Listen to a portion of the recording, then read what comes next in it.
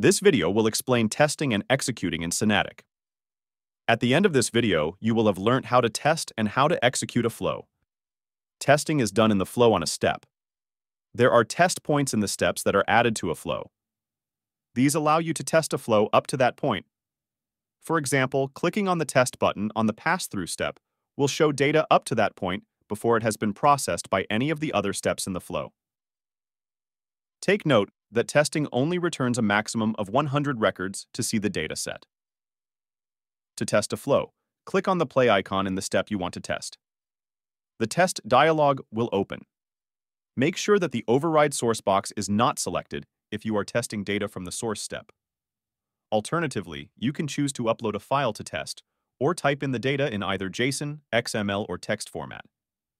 In this example, we will test data in the source step, so the override source box will not be selected. Click on that box to unselect it, and then click on the test button. The test results will be displayed at the bottom of the screen. The record stats will be shown under the steps tested to that point as shown.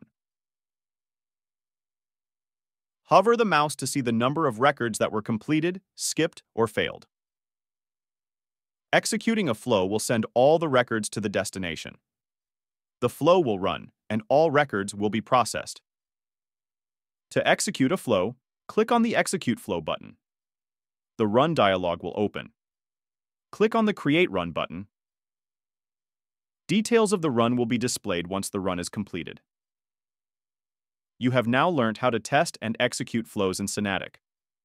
Thanks for watching.